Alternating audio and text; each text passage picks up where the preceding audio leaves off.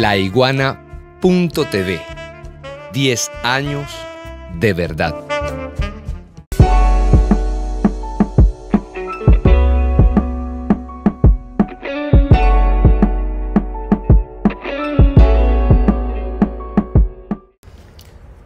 Bueno, mira, hay gente que no confía en que el poder popular pueda desarrollar, por ejemplo, la captación de impuestos. ¿no? Hay gente que desconfía de que el poder popular pueda asumir el mantenimiento de la ciudad. Hay gente que desconfía de que el poder popular pueda administrar el transporte público en la ciudad. Hay gente que desconfía que una comuna pueda aportar al PIB de la nación. ¿no? Y eh, cuando se generan procesos para que cada una de estas cosas ocurra, siempre encontramos a un detractor o a una detractora. Eh, sin embargo, fíjate, de todo lo que te he comentado en el municipio de Bolivariano Libertador, hemos encontrado diversas dinámicas que van cambiando eso.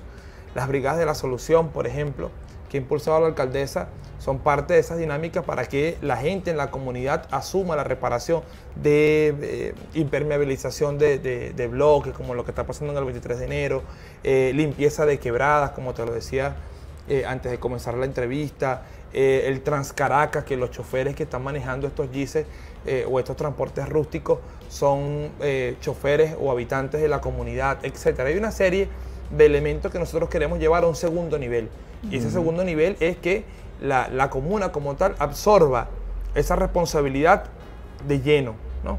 Pero para eso amerita también incrementar los niveles de organización. Entonces es como un dando y dando. ¿no? Eh, yo siempre destaco el artículo 184 de la Constitución de la República Oriental de Venezuela, nuestra, nuestro plan eh, de la nación, eh, que tiene que ver, bueno, con justamente que el Estado transfiere competencia, transfiere recursos en la medida de que la otra parte, que es el poder popular, muestre que tiene músculo para hacerlo. Y en ese proceso de formación, en ese proceso de organización, estamos nosotros metidos de lleno para que Caracas tenga una orgánica comunal real, una, orgánica, una orgánica comunal que pueda demandarle cosas al Estado y pueda decirle yo me puedo hacer cargo de esto y me puedo hacer cargo de aquello. Los nodos siempre son esos, más que todo que esa confianza ¿no? del poder constituido hacia el poder constituyente, que eh, a veces no, no es anclada en, lo que planteaba Chávez o no está eh, basada en lo que planteaba Chávez, que bueno, eso está ahí grabado a los presidentes teóricos número uno, el propio golpe de timón, etc.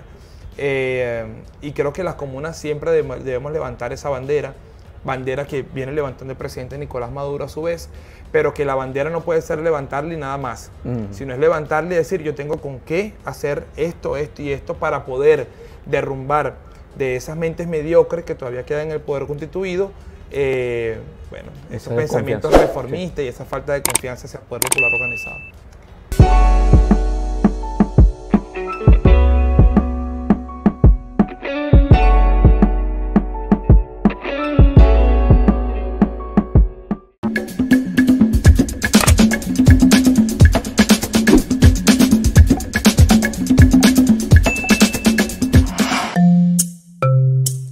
laiguana.tv.